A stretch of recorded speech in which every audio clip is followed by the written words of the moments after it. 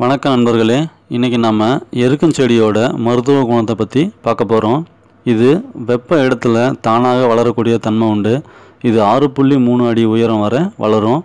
இதோடைய தண்டு பார்த்திங்கன்னா கம்பளி போன்ற பட்டையாக போர்த்தப்பட்டு வளையும் தன்மை உடையதாக இருக்கும்.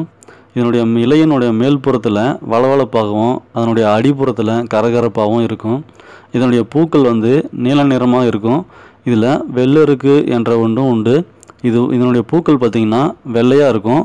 அதுவே வந்து சிறந்த ஒரு மூலிகைன்னு சொல்லுவாங்க. அப்புறம் இதனுடைய இலை பூ பால் பட்டை வேர் இது எல்லாமே வந்து மருத்துவத்தன்மை உடையது இது எது எதுக்கெல்லாம் பயன்படுது அப்படின்னு இப்போ பார்ப்போம். வயிற்றுப்புழு எலிக்கடி பாம்பு கடி வாத நோய் கப நோய் இருமல் ஆண்மை குறைவு குட்டம் பல் நோய் இது எல்லாத்துக்குமே வந்து இது பயன்படுது. எப்படி பயன்படுத்துறது அப்படின்னு இப்போ பார்ப்போம்.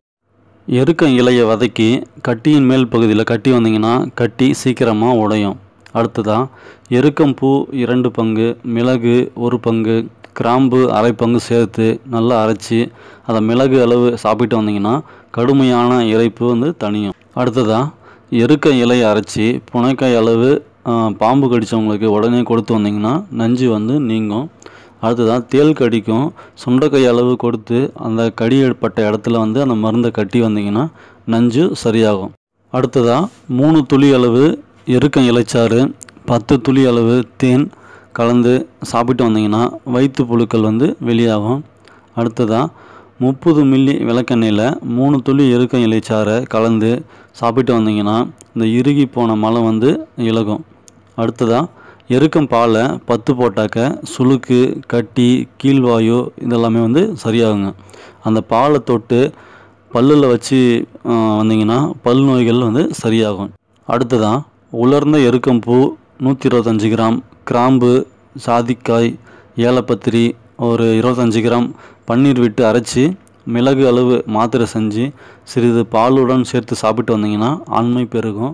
அடுத்ததாக முதிர்ந்த பழைய எருக்கம் பட்டை வேர் இது எல்லாத்தையும் ஒரு நெல் அளவு டெய்லியும் சாப்பிட்டு வந்தீங்கன்னா வாத நோய் சரியாகும்.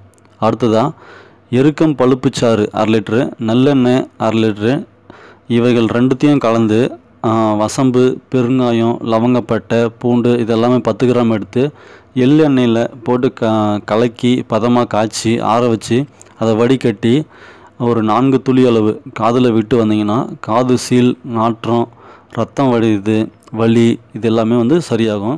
இது வந்து தனியாக எருக்கம் தைலம் அப்படின்னும் கிடைக்கும் வெளியில். நாட்டு மருந்து கடையில் கிடைக்கும். அதையும் நீங்கள் பயன்படுத்திக்கலாம்.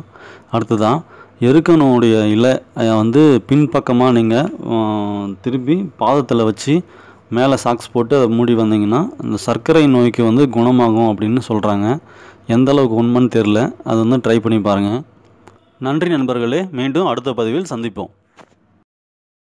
மேலும் இது போன்ற மருத்துவ தகவல்களை பெற நம்ம சேனலை சப்ஸ்கிரைப் செய்ய மறக்காதீங்க.